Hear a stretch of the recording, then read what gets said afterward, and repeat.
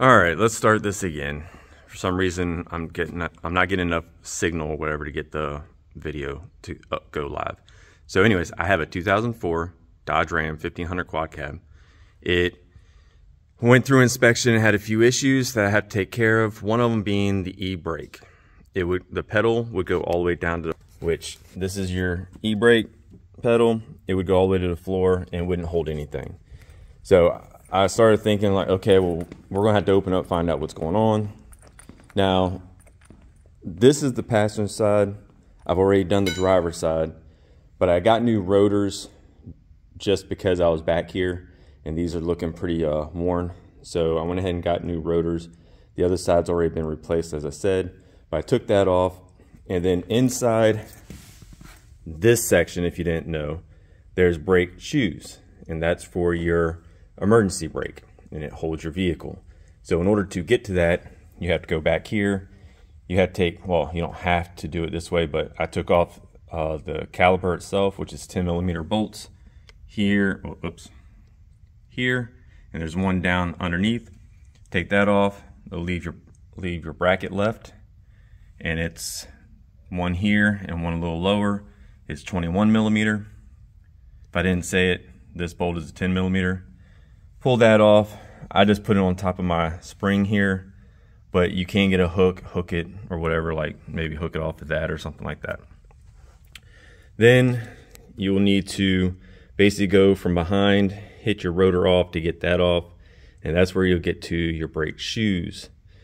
Now, I the only thing I did find out on here, which I'll go to in a second, so I took those off. I didn't see any real issue with anything. But I did find out that on these trucks, you have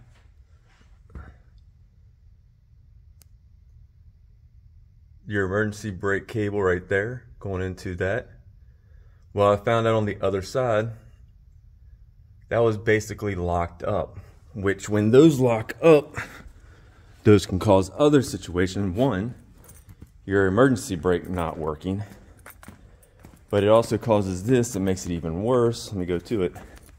So from the pressure of hitting the brake, it basically just completely ripped that open where I had to replace the, the whole entire cable, which that is the shorter one, which is right in here. As you can see, there's the newer one. And then I replaced that one inside there, which runs back to back here. you can see there. And then that's what I was talking about that goes in. That pulls back and forth to engage your emergency brake. And I replaced that. Now they do suck getting out. Let me get out of here. Speaking of that. So, I figure since I'm in here, I'll go ahead and replace both of them. And let me see. I may put them on the other side. Oh, here we go. So,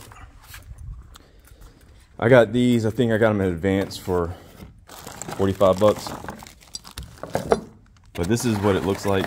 And it comes with a little boot. But you got to put it in the right orientation when you put it in there. And then your cable goes there on the outside. So all this is inside.